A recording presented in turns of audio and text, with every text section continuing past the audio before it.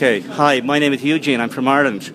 Uh, what's your name? Cayman. Um, we were talking last night, and you were telling me you originally lived in Las Vegas. That's right. What did you do there?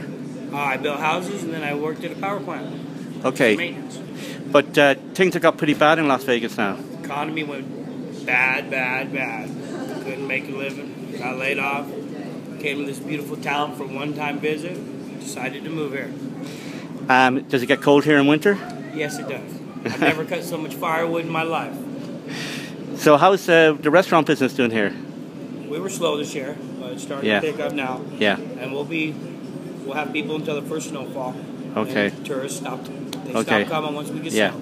So what do you like about this place, about Escalante? the scenery, the wildlife, the small town atmosphere, no traffic lights, No which? traffic lights, Okay, right. and beautiful tourists like yourself Yeah. coming in. Yeah, do you do a bit of fishing? Uh, my wife and kids do. I Yeah. know. I Yeah. just go and drink beer while they fish. Okay.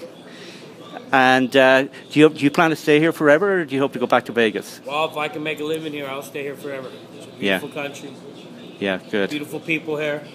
I have a great time here. good. Okay, nice to meet you, and thank you for talking Nice to to me. meet you, and you have a safe trip. Thanks a million. Cheers. Good.